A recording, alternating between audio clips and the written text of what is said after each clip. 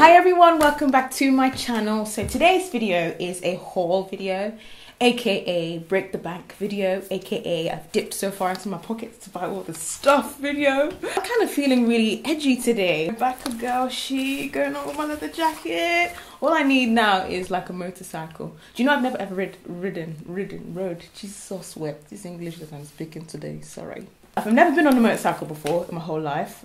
It's something I probably would do at some point. It's on my bucket list for sure. That and skydiving, amongst other things. Um, I think I'm still kind of cool with being alive at the moment. Um, when I'm ready to take that risk, I'll go and do all that stuff later. I hope you can grab some popcorn or you know a cup of tea or whatever you feel like you want to snack on and enjoy this video because I have a feeling it's going to be a long one. I'm hoping that you guys don't blame me if you go and you spend money on all these things and you like it, okay? I'm not going to be held responsible. I, I'm not. I'm just not. So yeah, just leave me out of it. Yeah, just go and spend money. You look great anyway. So the first is this brown bag. It's got this like crop detail on it, and I've been looking for a brown bag or a tan bag to wear with my neutrals for a long time. Um, I always seem to find really nice black bags, but I never find like you know tote bags are really nice and you know still expensive looking but are still quite affordable. So Zara did me good with this one. I've removed the price tag because I've worn it a couple of times since I bought it but I think it was around was under 50 pounds there about maybe about 30 or 40 pounds. And um, if I'm wrong I'm sorry. I will leave like links down below so you can click for the correct prices and stuff. But I remember seeing the bag and thinking, oh my god, this is so nice and I really wanted it. And it goes with so many of the neutral stuff that I have in my wardrobe. So it's perfect. So if you guys are looking for a nice brown bag that you can take to work or you can just wear in days where you want to put quite a bit in your bag, it fits my laptop in there as well. So is brilliant because it literally put, you can put so much stuff in. And you know me, guys, when I carry a big bag, I usually have a bag inside a bag inside a bag because I like to organize my stuff um, with little bags in it just so I can find it easily. Um, so yeah, this is a really really nice bag, and um, yeah, check it out from Zara. The next bag is this over or is it crossbody bag? I always get that wrong. People always correct me. Is it cross? Yeah, crossbody bag. Um, this one is really gorgeous, sort of like neutral. Um, nude and I like the fact that it's a flap you can open it and you can stick stuff in. I forgot to show you guys the inside of the brown bag. It's just like a normal tote, really nothing special in there. It's just got like one of these extra bits that you can stick stuff in. It's just a tote, it doesn't have any pockets or anything. Um, but yeah, back to this one. This is nice because it's got so many different compartments in there. And even though it's small, it can actually hold quite a bit of stuff. I took this around with me um, in my last uh, on my last trip to Mallorca, and it's just such a nice girly bag that you can wear with pretty much anything um, that's sort of like frilly and girly and nude and white and stuff like that. And I really, really liked it because, yeah, it's gorgeous. And it's got like a gold panel thing on, which I really like on the front. And this was thirty nine ninety nine, if I remember correctly. This bag from Zara is this mustard one and it's got it's like one of those um, shoulder bags and you can wear it as a um, over crossbody crossbody bag as well. Um, this was 49.99 now you're probably thinking why why why why why why why is it expensive like that? But it looks just like the Chloe one. There was a Chloe bag that I saw while I was in Paris last month and I was like do I spend a thousand pounds on that or do I go find like a cheaper alternative? And I found one in Zara and it's just as gorgeous but a little bit more economical. I'll leave a link down below to the um, Chloe one that I saw so you guys can have a little comparison with it as well. But I, I just like the function and I just like I like to be a bit economical and stuff. I still haven't you know expended you know a large amount of money on um, in a designer bag yet. Um, I had an LV bag a while ago, but that wasn't even mine. That was my mum. She gave it to me. But I haven't actually, you know, gone. I haven't actually gone and bought a bag a designer bag. So if you guys think I should check them out, let me know which one I should get as my first designer bag. Um, yeah, right down below. But for now, I kind of like Zara. It kind of works for me and um, this is gorgeous for $49.99. I can never get bored of nude shoes, especially ones that come in such a gorgeous style. I love these because they've got like a pointed toe and they've got like a lace around the ankle, so it's something different. I have like lace ups and different kind of nude um, heels and stuff, I don't have anything like this, and I thought it would go really nicely with some of the outfits um, that I bought recently. So I got this from Zara as well, and this was $39.99. Okay, so on to clothes. Um, I'm really digging um, the whole kind of blue and stripes, and you know, it just reminds me so much of summertime. And I like this one especially because I can throw this over a pair of like white jeans or like you know deep blue jeans or even black jeans or even like white pair of shorts and with, with, a straw hat and take it to the beach. I love you know clothes and items that I can style up a di- like different ways because I feel like yeah my money's going a longer way than you know when I buy something that's one off. Got mine in a large because I did want the baggy feel and I want the loose feel and if if I wanted it tight. Um, I just tuck it into like a skirt a pencil skirt or something, but I did want it to look loose. Next, I have this gorgeous, sexy dress. Um, apart from the color, I really love the way it fits, and um, it was twenty five ninety nine, and I think that's a really nice price for a dress from Zara. It's kind of burnt orange, it's rust. Um, I recently kind of recycled one of my favorite rust pieces, and I thought mm, something has to take its place, and I found this dress, and I thought it's perfect. And the back is cut out, so you can have a bit of you know back showing if you want to feel like that. If you don't feel like that, you can put cardigan over it or jacket to make it, you know, safer for the workplace. But if you want to wear it like that, which I probably would, I quite like the cutout detail.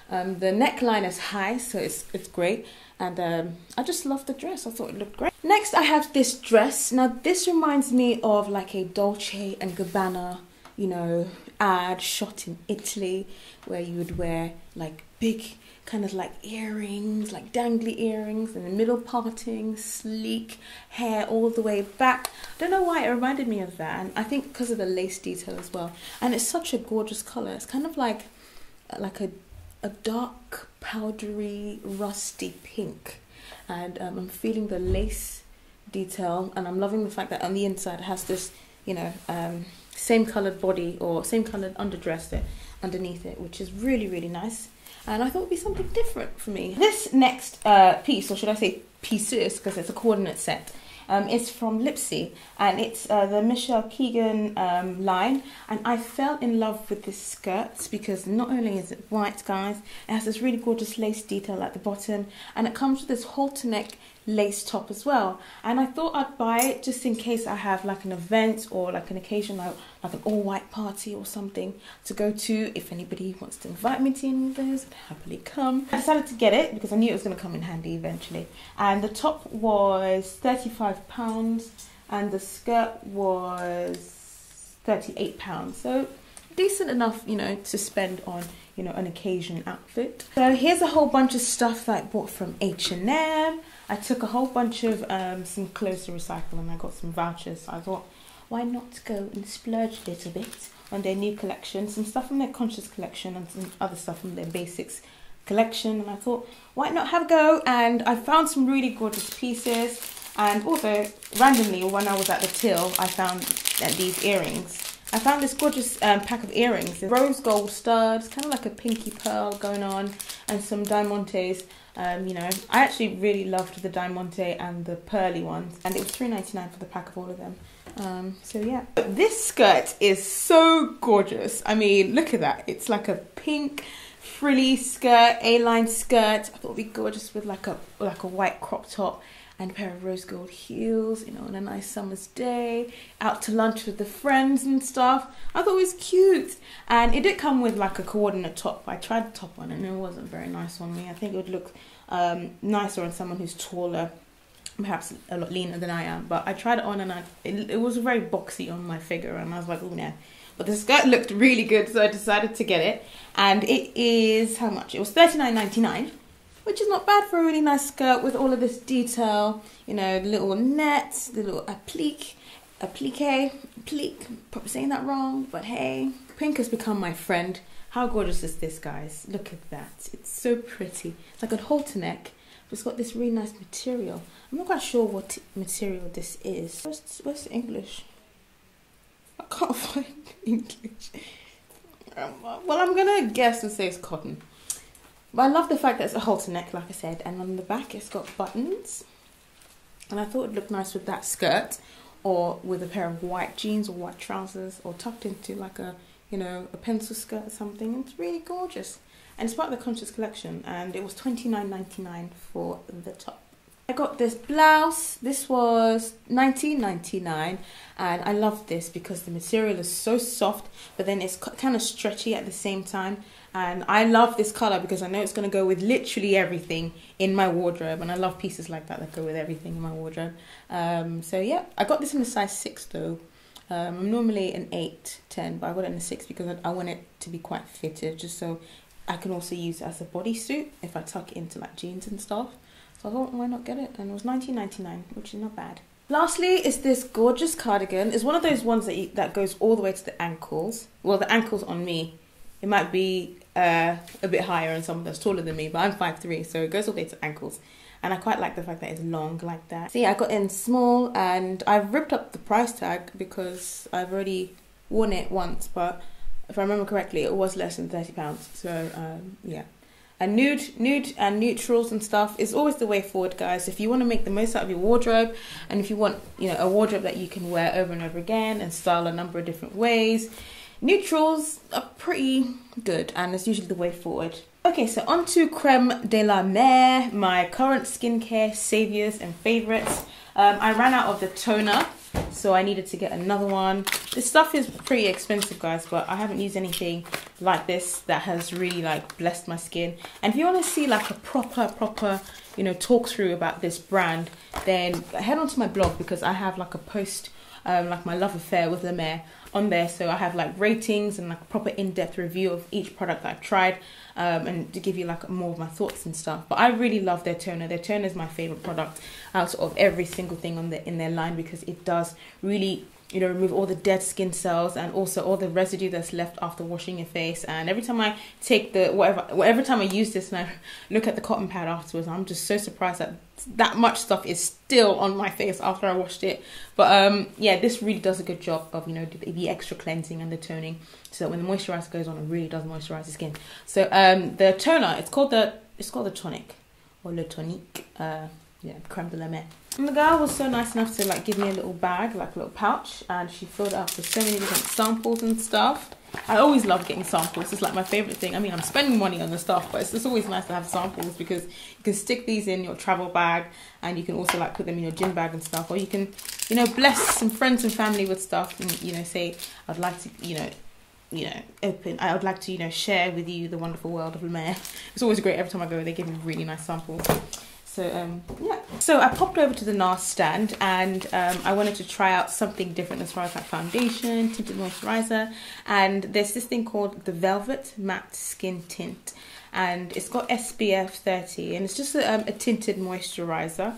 At the moment, I'm using my Makeup Forever HD foundation, but on the days where I wanted to just, you know, when I want to just have like a quick routine, something simple, and you know fuss free and not have to do too much blending so I can just like stick it on my fingers and go I wanted something like that. And um, I tried this on. She did like a shade match um, for me um, at the NARS counter and it was so nice. It felt so good on my skin and I was like I need to get this and I need to show it in the video and what I'm thinking about doing is doing like a, like an everyday makeup look really simple that you can you know wear to school to uni to college or to work when you're on the go, you know, fast on the go type of makeup. Because when she applied it on, she applied it on so quickly and it looked so flawless and it just felt really light and looked really light, looked like my skin. So I was like, hey, I need to, you know, let you guys in on this amazing thing. And it's a Vel Velvet Matte Skin Tint. And the shade that I got was medium 2. Anna, Annapurna, I think that's how you pronounce it. Um, NARS are really good. Them, I have my all my concealers are from well, not all of them, but most of them are from NARS. I've got two um, blushes. I got the Orgasm blush. I think this is probably the most talked about NARS blush, you know, in the blogger sphere or YouTuber sphere. And I don't own it, and I tried on my skin that day, and it looked really nice. It's got this like sparkly quality to it, and it's kind of pinkish. I can get it out of the package, that'd be great. Orgasm is just a really gorgeous pinkish like a shimmery pinkish blush and um, I thought I'd try it and see how it goes and I really liked it so I decided why not buy it. The next blush is called Luster and it's like a peachy blush, very shimmery peachy blush and I love my peaches peaches blushes because it makes me feel like I'm glowing from the inside and I thought I'd use this one and mix it with Orgasm to create a really nice you know custom made blush color because I did it that day and it looked fabulous and um, yeah topped up my um, concealer this is Cafe this is the one I normally use to contour uh, my face. It's just like a couple of shades darker than my skin tone. I like the stick because you can just like, you know, screw out and then just apply it on the areas that you're contouring and literally just blend it. Um, I'm yet to find something else that would replace this, but so far I'm loving this and every time I go back and I repurchase it, when it's finished. Um, if you guys have any recommendations for contour stuff, let me know. I, I would love to check them out though. I also got lipstick and this one's called Pigalle. Oh, it's called Pigalle. I didn't even know it was called Pigalle. Um, just like the Louboutin shoes, the one I have, the nude one. And it's kind of like, it, it looks like my actual lip color. So it's like my, my lip color in a lipstick. So it's like a perfect nude for my lip color. And what she told me to do is actually dab this on rather than swipe on because it looks more natural that way. Swiping on um, makes it look artificial, but dabbing on this kind of color just makes the lips look really nice and luscious and stuff.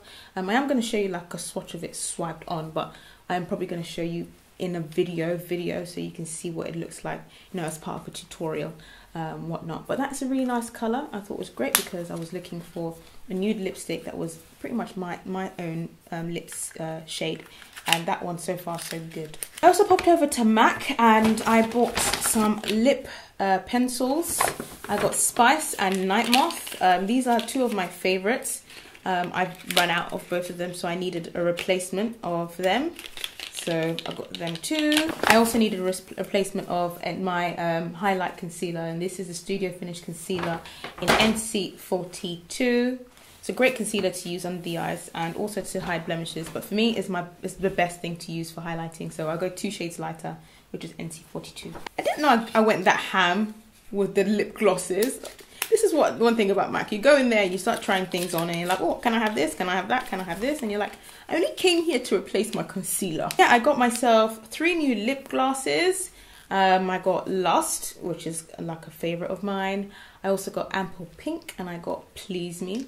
Love my matte lips, but these days I'm loving the glossiness of lips. Um, right now I have like Snow Cap and uh, like a black up I showed this in my lip combinations video. You guys should go watch that video by the way. I made that a couple of weeks ago. But yeah, I'm, I'm kind of feeling these glosses and they're gorgeous little pinks and nudes and stuff. So that's it for my haul. I hope you enjoyed this video and I hope you've seen something that you like or you can check out. I'll leave links to most things that I found on the internet down below so you can click through and have a little bit of shopping marathon. And until next time, thank you so much for watching guys. Bye.